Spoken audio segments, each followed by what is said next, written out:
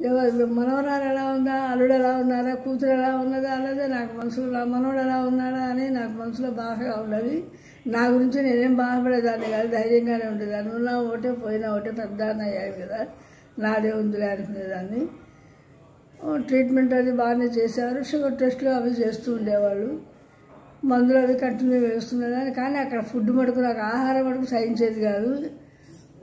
నాకు ఎక్కువ ఆహారం సహించకపోవడంతో కాస్త నీరసంగా ఉండేది. ఆక్సిజన్ కూడా రెండు రోజులు ఆక్సిజన్ పెట్టారు. ఎందుకు పెట్టారో ఒక్కోసారి నాకైతే అర్థమయ్యేది కాదు.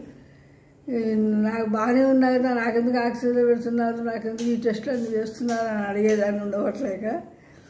ఆడికి నాకేమైనా లంగ్స్గా ఏమైనా ప్రాబ్లం వచ్చిందా ఎందుకు ఇవన్నీ చేస్తున్నారని అడిగాను ఒకసారి. అడిగినా ఏం లేదమ్మా బాగానే ఉన్నారని అనేవాళ్ళు. చివరికి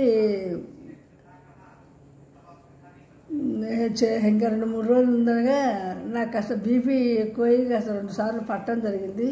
దాంతో ఇంకా కాస్త వాళ్ళు ఇంకా కాస్త శ్రద్ధగా బాగానే చూశారు. హాస్పిటల్ ప్రైవేట్ ఇదేం లేదు చాలా ఇదిగా చూశారు.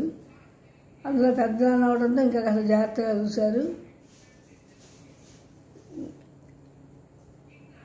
సరే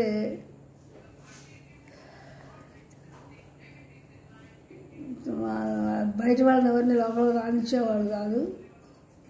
అందుకోసం నాకు ఎవరు కనిపించట్లేదనే కాస్త మనసులో అధైర్యంగా ఉండేది కాదు. మిగతా నా గురించి నాకైతే అధైర్యంగా ఉండేది కాదు. ధైర్యంగానే ఉండేదాన్ని.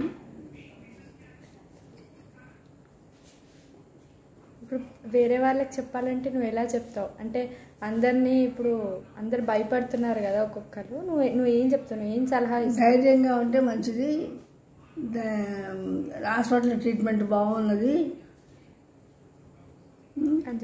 ధైర్యంగా ఉంటే వాళ్ళతో నేను సహకరించే డాక్టర్లు ఇచ్చే మందులకి ఇంజక్షన్లకి నేను సహకరించేదాన్ని. ఉద్దరు ఏం గొడవ చేసేదాన్ని కాదు నేను ధైర్యంగానే ఉన్నాను.